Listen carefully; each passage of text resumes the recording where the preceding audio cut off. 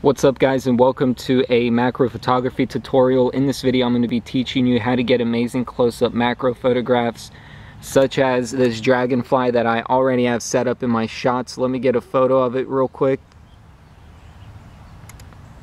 So the goal here is to focus in on its eyes and that will give you the best possible shot. So as you can see I'm a good distance away from this dragonfly and there's another shot if I zoom the whole way out, I'm way out here. And if I zoom in, I am able to get in extremely close and get these amazing photos. So here's my setup. I'm using a Canon PowerShot digital camera with a clip-on Raynox macro lens that clips onto the front and I just zoom in and there's the dragonfly way over there and so as you can see I'm a good distance away with my camera physically. And then I just zoom in onto the dragonfly and then in AV mode with a cloudy filter and you can use auto or manual focus.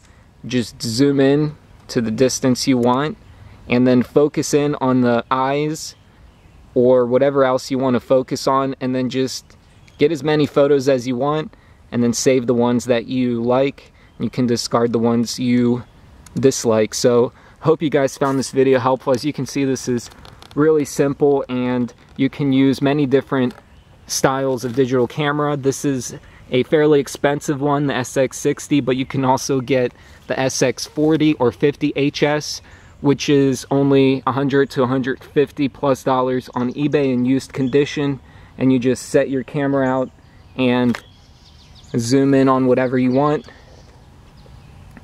and snap the photos you want.